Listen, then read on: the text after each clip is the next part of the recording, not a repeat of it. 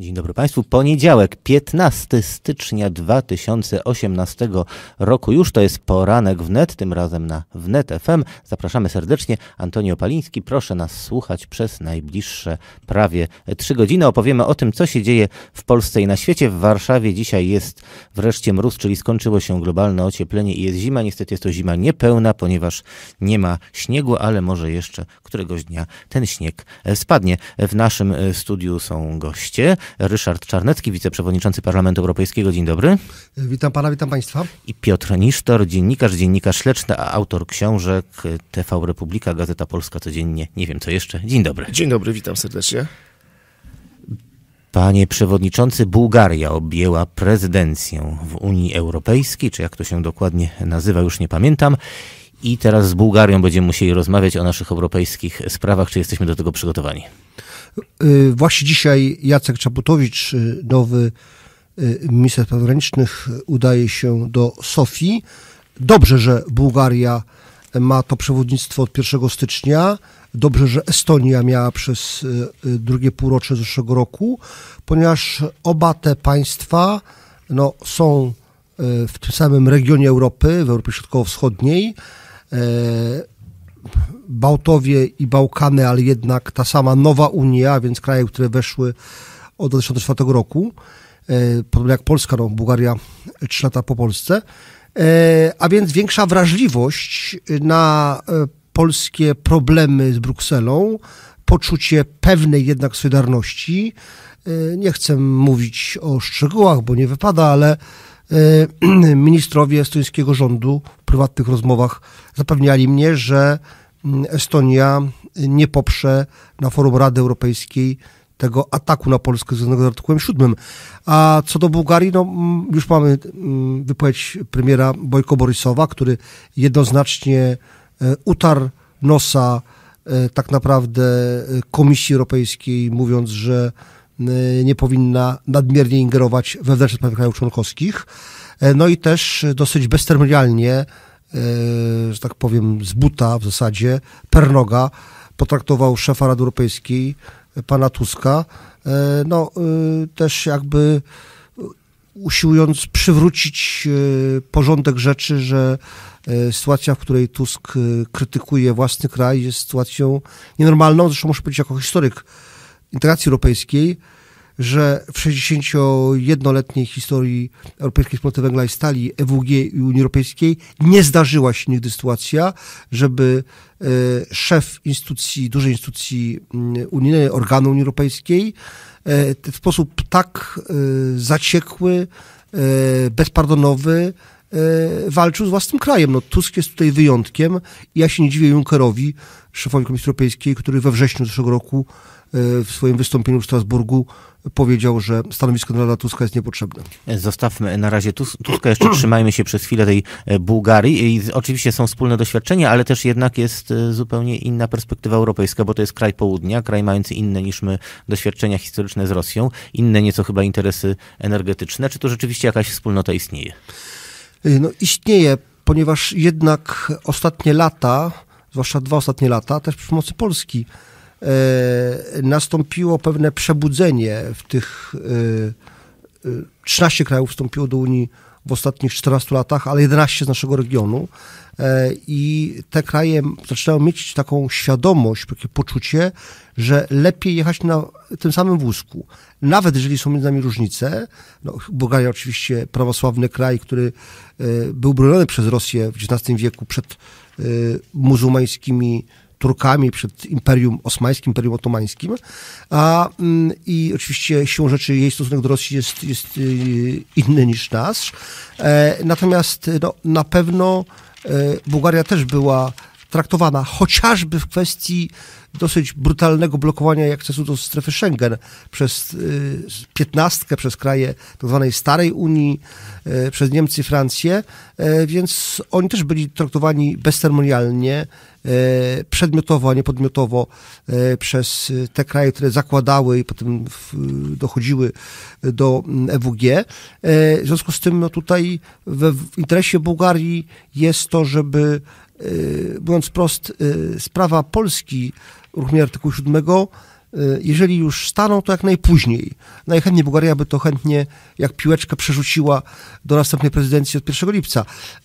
Natomiast no, jest rzeczą godną podkreślenia, że e, Bułgaria też no, nie chciałaby, aby w czasie jej prezydencji były rozstrzygane sprawy kontrowersyjne, dzielące Unię Europejską, a taką sprawą na pewno jest ta nagonka na Polskę.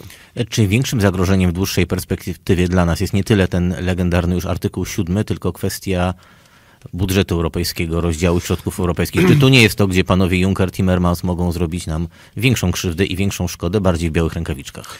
Że po pierwsze ja bym y, nie przywiązywał się i tutaj może trochę też inaczej niż niektórzy moi koledzy z mojego obozu politycznego, ja bym y, nie przywiązywał aż takiej wagi do artykułu 7, bo czy on będzie wprowadzony, lepiej, żeby go nie było. E, czy będzie e, też e, niewprowadzony, to tak naprawdę żadnych konsekwencji dla Polski e, politycznych, gospodarczych, e, ekonomicznych, finansowych nie będzie. Natomiast oczywiście e, groźne byłyby sankcje, ale tych nie będzie, bo jest domyślność. Odnośnie budżetu, to może Pan o tym powiedział, no mamy pewne nowe informacje na ten temat. Po pierwsze, jednak, tak jak do tej pory, budżet siedmioletni, nowy, od 2021 roku poczynając do 2026 roku.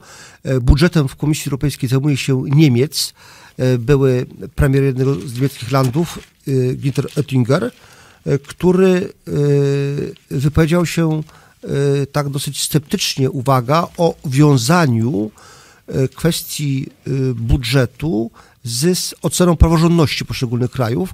To oczywiście dla Polski jest korzystne, no ale w tej sprawie E, może nie decydować ani Juncker, który w tej sprawie jest naszym sojusznikiem, co powiedział ostatnio w wywiadzie dla belgijskich mediów tydzień temu, e, ani też Ettinger, e, będą decydować te kraje, które ten budżet przede wszystkim jako płatnicy netto tworzą, a więc na przykład Niemcy, Francja, a one w tej sprawie na razie mają taki stosunek, że w zasadzie można by uzależniać ten strumień pieniędzy od tego, czy w danym państwie wszystko z tą praworządnością jest ok, co oczywiście jest pewnym instrumentem do ingerowania wewnętrzne sprawy poszczególnych krajów. Natomiast co jedno jest pewne, i to trzeba powiedzieć Polakom bardzo uczciwie jasno, ten budżet, cały budżet Unii Europejskiej będzie znacznie mniejszy, bo Wielka Brytania odeszła. To jest kwestia straty rzędu 12-14 miliardów euro rocznie w plecy, no, jak to się mówi, e, czyli ten tort unijny dla wszystkich będzie mniejszy. Po drugie, będzie mniejszy dla Polski nie tylko z powodu Brexitu, ale także z tego powodu, że Polska staje się coraz bardziej zamożnym krajem. No już trzy polskie województwa, ostatnio Wielkopolska, przekroczyły ten limit 75% średniej unijnej. W związku z tym nam się, według obiektywnych kryteriów unijnych, będzie nam się mniej należało. W związku z tym, tak, trzeba dzisiaj powiedzieć Polakom na początku 2018 roku, że ta tak zwana nowa perspektywa budżetowa unijna, czyli nowy budżet unijny siedmioletni, e, który wkroczy w życie za 3 lata, 1 stycznia 2000 2021 roku, on będzie, e, ten kawałek tortu dla Polski będzie znacznie mniejszy z powodów obiektywnych. Brexit i to, że stajemy się krajem coraz bardziej zamożnym, mimo że wciąż Polska, gdy chodzi o PKB na głowę mieszkańca, jest jednym z siedmiu najbiedniejszych krajów w Unii Europejskiej, obok Bułgarii zresztą. E, tymczasem pan wszedł e, w spór słowny z panią Różą Tun. No pozwolicie panowie, że nie będę tutaj całego tego szerokiego nazwiska wymieniał. Panie przewodniczący, czy te słowa o tych szmalcownikach były potrzebne w ustach tak doświadczonego polityka? No, trzeba bardzo wyraźnie powiedzieć, że ja oceniłem w mojej wypowiedzi dla portalu niezależna.pl oceniłem e, negatywnie pewne zjawiska polskiej historii w średniowieczu to, że książęta, którzy przegrywali walkę o władzę polityczną w Polsce, uciekali się do obcych monarchów, obcych dworów, obcych tronów, po to, żeby ściągać posiłki zewnętrzne, e, żeby e, z zewnątrz załatwiać... Panie przewodniczący, na litość boską, no, chodzi o pana wypowiedź, zostawmy średniowiecze.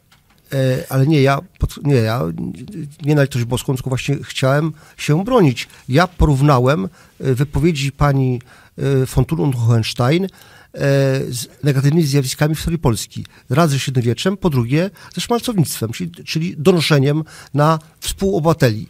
A, I ja podtrzymuję, że to, co robi nie tylko pani e, von Thun Hohenstein, ale także inni politycy totalnej opozycji, którzy bądź głosują za sankcjami przeciwko Polsce w Parlamencie Europejskim lub też wypowiadają się w mediach zagranicznych, tak jak byliby ambasadorami Unii w Polsce, e, a nie Polski w Unii, no to jest skandal. I będę te wypowiedzi absolutnie twardo krytykował. E, nie zrobiłem niczego złego, chyba że za rzeczą złą za rzecz złą uznamy e, obrona własnego kraju i polskich interesów, no ale to dalej będę grzeszył. Obrona własnego kraju jest w Radiu Wnet jak najbardziej e, jak najbardziej, jak najlepiej widziana. Nie ma żadnego powodu oczywiście, żeby bronić tego, co robią posłowie opozycji, natomiast no, jest kwestia słów, jakich używany słowo szmalcownik jednak ma pewną taką kwalifikację dość mocną. To, to byli ludzie, którzy to, wydawali na śmierć współobywateli. To tak, to właśnie powiedziałem. Ja porównałem negatywne zjawiska w polskiej historii. Ja nie nazwałem no, kwestia metryki. E, nie nazwałem szmalcownikiem nikogo, tylko porównywałem negatywne zjawiska w historii Polski, do czego mam prawo. Dalej, się, dalej podtrzymuję to, że trzeba piętnować tych polityków, którzy przez polskich E, e, e, obywateli zostali wysłani do Brukseli w Strasburgu, do Strasburga, a potem de facto stają się częścią oręża propagandowego antypolskiego.